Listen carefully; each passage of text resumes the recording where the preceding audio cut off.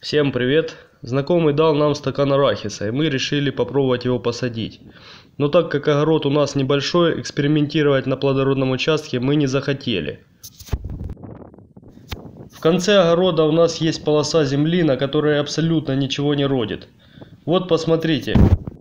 По сравнению с остальным участком, какие убогие здесь сидираты. Старики говорят, что в этом месте когда-то был яр, и его засыпали всяким мусором. Короче, земля просто убитая. И всякие удобрения дают лишь временный результат.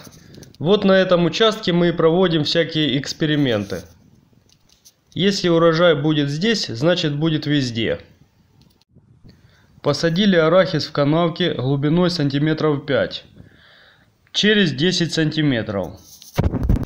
А расстояние между рядами 70 сантиметров. Ближе садить не нужно, потому что не хватит земли для окучивания.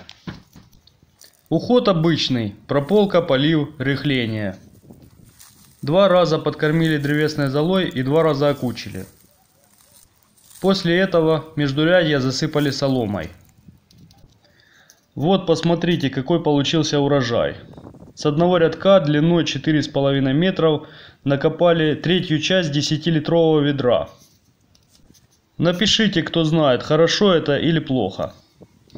А из приобретенного опыта делаем выводы. Эта культура очень долго всходит, поэтому арахис желательно садить как можно раньше.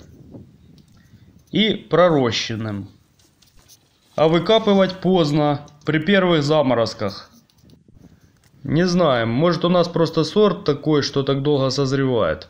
Но даже сейчас, 5 октября, на кустах есть по нескольку недозревших орешков.